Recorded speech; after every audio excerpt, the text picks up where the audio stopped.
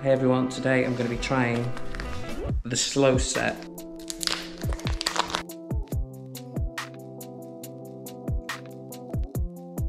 So basically I've been sent this so I'm going to give them a whirl today.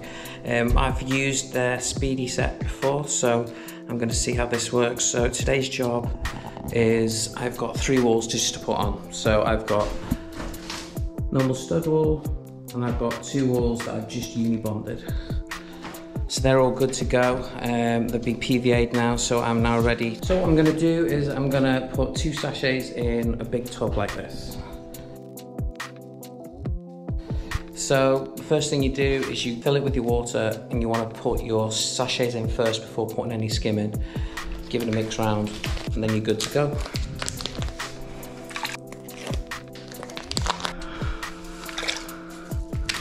Right, so that's the first two bags mixed. So it's now 10 to 11 now. So I'm gonna start chucking it on.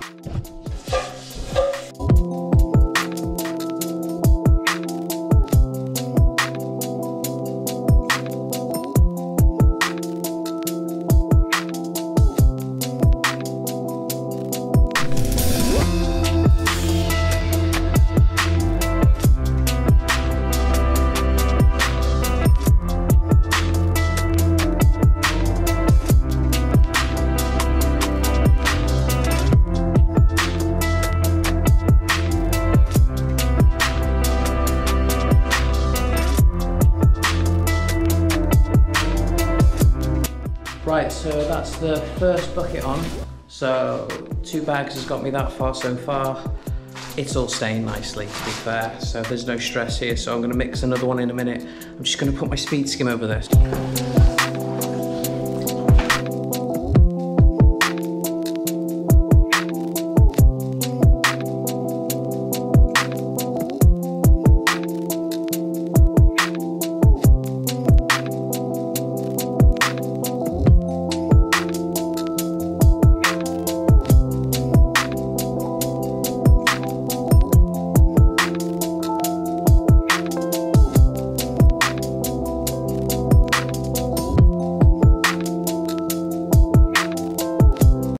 Some of you might find it weird what I've just done, but what I've basically done is I've put my first coat on and then I've put my speed skim over it all and then I've just gone over, just checked over it with um, my trowel basically because sometimes because it's a straight edge it can show where there's a few little dips and stuff so you want to make your first coat as good as possible so that when um, you're mixing you're not going to get caught out later on. You don't have to do it, it's just something that since I've got a little bit extra time today I want to get my first coat spot on straight away.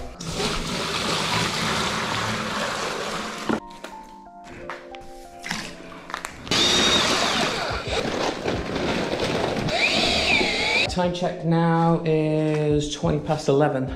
So I've just mixed my second bucket. I put the same amount in again. I've just put one sachet for one bag of board finish. Um, I'm now just gonna put a tiny bit over there that I didn't have enough for and I'm going to start doing the tops and then I'll put the um, second coat on with the same stuff because uh, I like it all to be in the same mix basically.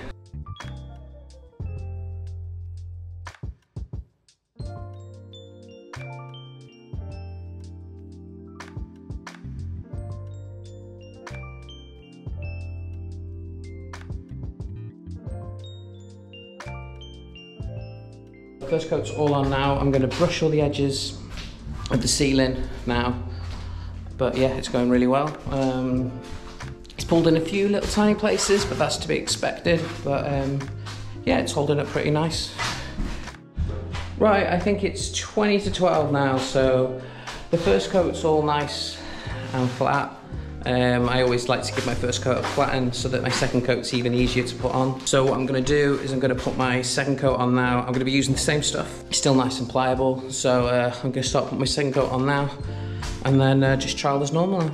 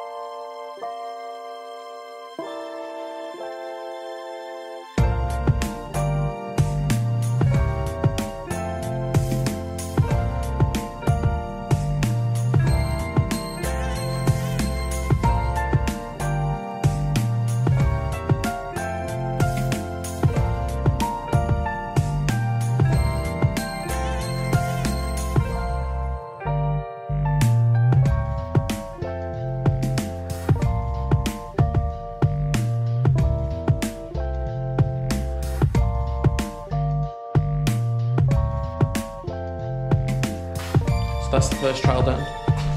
Um, it's hanging on nicely there. Uh, I'm just going to give it a bit of time now. Gonna have a quick bit of dinner.